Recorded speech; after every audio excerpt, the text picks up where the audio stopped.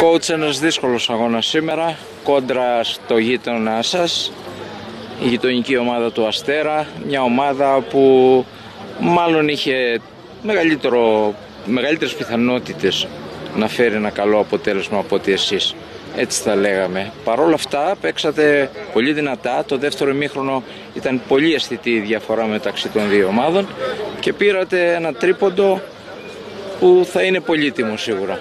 Σίγουρα ένα παιχνίδι μετά από ένα κακό αποτέλεσμα την προηγούμενη Σαββατοκύριακο για μας.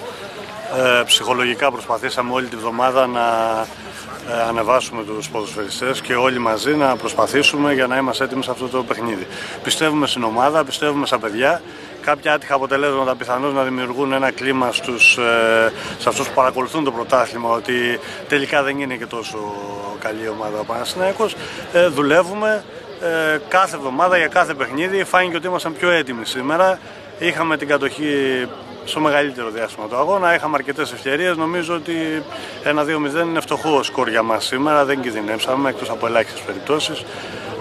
Ε, εύχομαι να συνεχιστεί αυτή η απόδοση και στα επόμενα παιχνίδια.